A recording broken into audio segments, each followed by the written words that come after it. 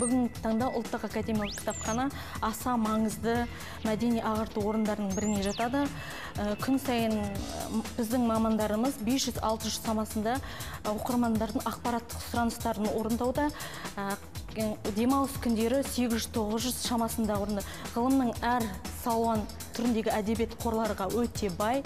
Ұлттық академиялық кітапханасының қоры күнделікті толығып келеді.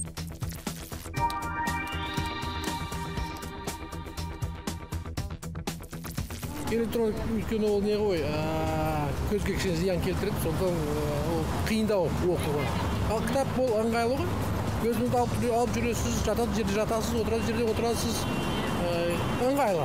Баспа бет өйткені электрондық ол көзге нашар біріншіден бірақ та өзімен алып жүру оңай. Электронды кітаптардан қарағанда қазір сол баспа бет кітаптар дұрыс болады деп. Өйткені қазір барлығында ұялы телефондар көп. Яғни ұялы телефондар ол көп адам денсаулығына әсер етеді. Қазір заман сондай болған ғой электрондық кітаптар көп. Баспа кітапты өзім өзім үшін қалаймын.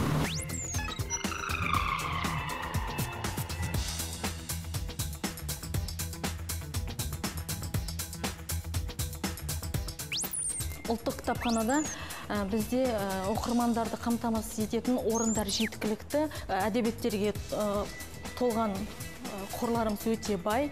Және де оқырмандардың сұраныстарын қамтитын орындар да жеткілікті.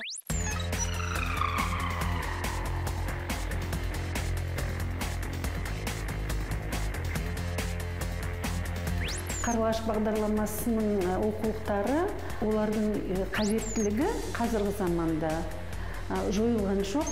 Бұл әдістемелік құралдар тәрбиешілерге мұғалімдерге қажет. Олар күнделікті өмірінде пайдаланады. Сол альбомдар арқылы әліппе дәптерлер арқылы бала білім алады.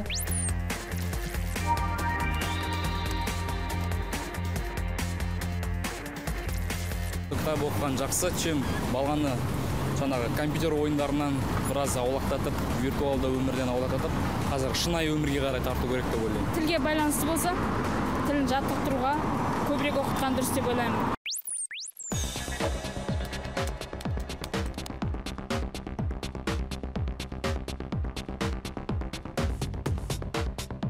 Қазіргі заманда енді электрондық жүйесі де енгізіліп жатыр ғой. Бірақ та менің ойымша әлі көп жылдан э, көп уақыт э, бұл әбден жойылып кетуге мүмкін емес.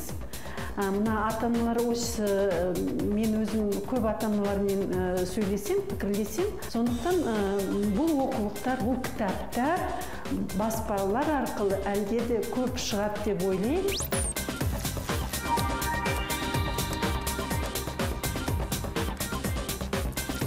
Қазақшасы ұлытау туралы ә, сол ұлытаудың тұрғынын бір өзінің әке туралы жазған кітабы. Ә, ал орысшасы александр свияштың кітабы психология жағынан. Шетелдің кітаптары ол бегущий по лабиринту деген кітап.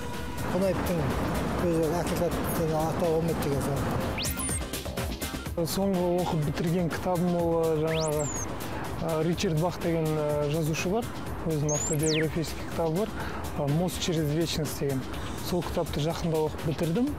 Сосын мен өте жақсы көретін жаңағы жазушым ол хулио картасар. Хулио картасарды оқығанды өте ұнатамын. Ал негізі енді біз өзім кинооператор болғандықтан көбінесе көркем сурет және де операторлық өнер туралы оқығанды өте қатты ұнатамын.